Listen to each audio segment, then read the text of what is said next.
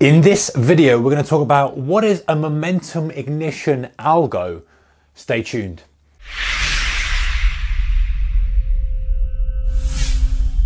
Hey traders, a very warm welcome to you. Okay, so you probably haven't heard of this, but we have these algos out there which are really quite abusive algos and they're verging on the edge of illegality in the eyes of the SEC. But we're not going to get into that now. But what is it? What is momentum ignition algo? So, momentum ignition algo is a trading algorithm that attempts to encourage other participants to trade quickly, causing a rapid price move. In other words, this algo will go out there and it will either spike price quickly in one direction over a certain level. We've seen kind of retail versions of that by you know the stop hunt type thing, or a burst of volume in one direction.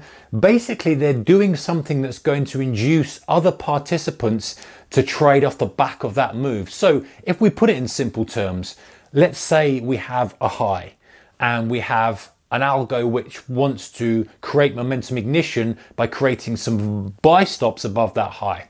This is very kind of, we're keeping it very simplified level here, but let's assume that for this example, they would then quickly buy a lot of stock or a lot of futures contracts or whatever it may be to force the price through that level, to create momentum, to create hopefully momentum ignition. They're assuming and they're hoping, and I guess they've got kind of done their analysis on this, I would assume, that that's going to cause a lot more participants to jump in based on what they've caused and then cascade and create some sort of momentum.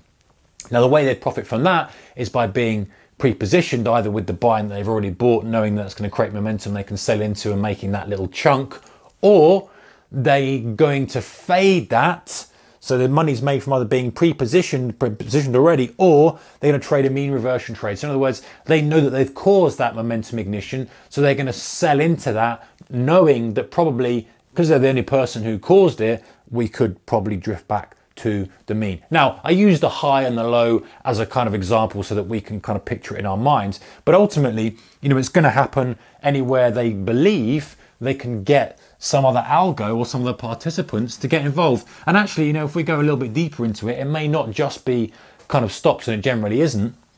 You've got a price here, and let's say price is chugging along, and they just give it a little bit of a, a nudge to the downside on some high volume.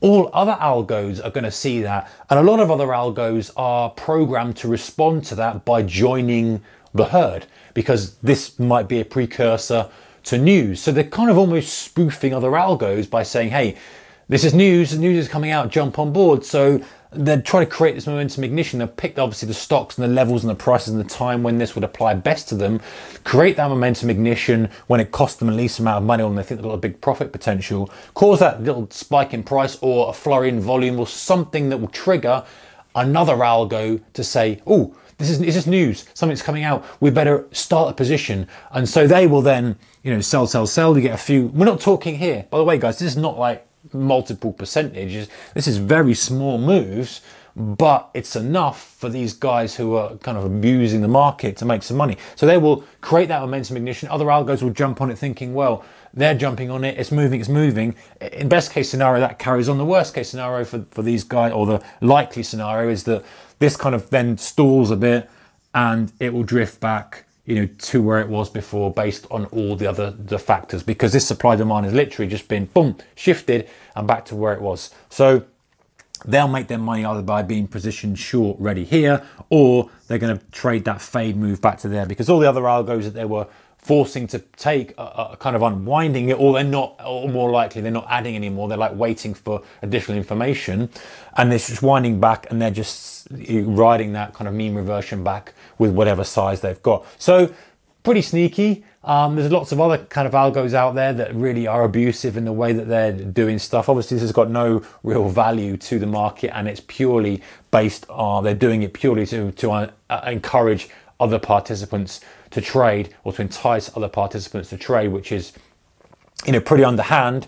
But it's funny, really, how you get these kind of battle of the robots now. You know, they're looking to encourage, hey, dangling a little fish in front of or a carrot in front of, uh, you know, a news algo or whatever algo may be, get him to react and make money off his false reaction. So that's something we'd not like to see it very, very often. I mean, as I say, it's very small. It happens on a kind of short time frame, but there was a lot of. Uh, a lot of articles out there, a lot of talk about these these algos, these kind of predatory algos and these uh, market abuse algos. And one of them was this momentum ignition. And I thought it was quite interesting um, to sort of drill down and find out what it was all about. And also, you know, like we talked about the stop situation. You know, if we, we often we see kind of stop hunting, it's it's a modern version of that. Guys in the pit who would push it, push it, push it, knowing there was a sea of stops up there, get the cascade, sell into that, done, walk out of the pit. That was very common. This is like a modern version of that. All right, guys, thumbs up if you like this kind of stuff. Don't forget to subscribe for more videos from me and other traders on this channel. Take care, keep the risk managed.